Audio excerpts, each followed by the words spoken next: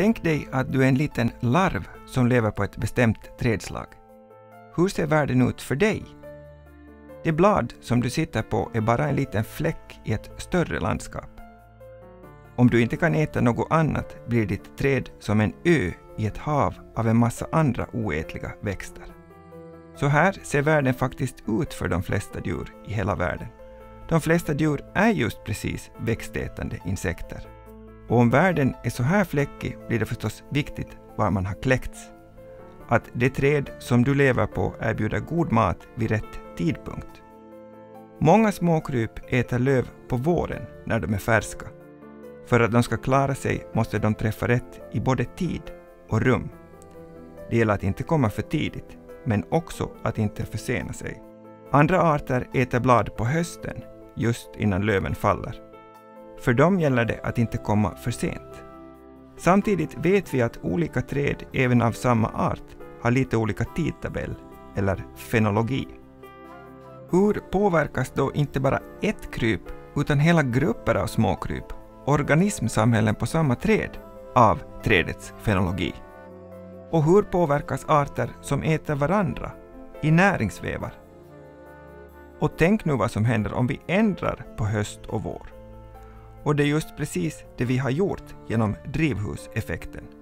Håller krypen och träden samma takt då, eller inte? Det här är spännande frågor. Och vill vi ge oss in på dem kan det vara klokt att titta på ekar. Av alla trädslag i hela Europa är eken nämligen allra populärast bland insekter. Mer än 200 arter av fjärilar lever på ek. Många lever inne i bladen i en liten ficka mellan den undre och övre ytan på bladet. Dem kallar vi för bladminerare. Det spännande är att de alla äter gångar med ett utseende typiskt för just den arten. Därför kan man känna igen arten så fort man ser minan. Andra insekter tvingar bladet att göra ett litet hus åt dem, fullt med god mat. Dem kallar vi galler.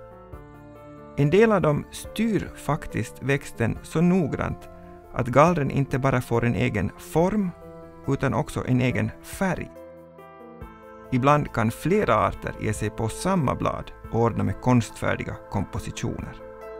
Det är alltså larverna som lever inne i bladen. Som vuxna är många av de bladminerande arterna små fjärilar. Tittar man noga på dem ser de ut som små konstverk. Det här släktet till exempel heter guldmalar. De som gör galler är ofta små steklar. De kan vara lite klumpiga till formen, men de är mästare på att manipulera sin värdväxt. Men de här växtätande krypen är inte ensamma på bladen. De arter som äter löv blir i sin tur angripna av andra arter, av små rovdjur. Naturliga fiender kan döda mer än 90 procent av dem. Det bildas alltså en hel liten näringsväv av träd, trädätare och deras fiender. Om man måste vara liten för att rymmas i ett blad, ja då förstår ni att man måste vara ännu mindre för att kunna livnära sig på ett så litet bytesdjur. Många av de här arterna är alldeles minimala. Men de kan också vara väldigt fina. Tillsammans bildar de bladätande djuren och deras fiender oerhört invecklade näringsvävar. Här har vi ritat streck mellan arter som äter varandra. Lövätande arter nedtill och deras rovdjur upptill i bilden. Som ni ser ser det ut som en hel liten höstack, så invecklat blir det. Nu vill vi veta hur de här insektsamhällena, de bladätande arterna och de arter som äter dem, varierar med ekens fenologi, med när den faller av på hösten och när de får löv på våren.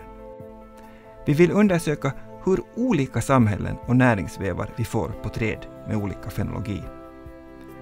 Genom att studera just den saken kan vi få en inblick i vad som händer i ett varmare klimat där lövsprickning och lövfällning förändras. Just du kan hjälpa till. För att kunna undersöka en massa olika träd i olika delar av Sverige så behöver vi mycket hjälp. Kanske just du vill vara med och hjälpa till. Tala med din lärare och anmäl er.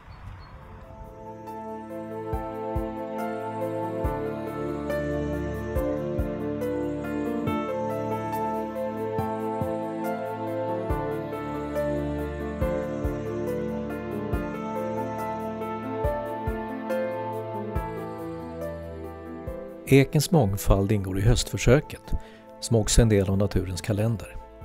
Det är ett rapporteringssystem där frivilliga kan bidra med både höst och vårtecken och allt däremellan.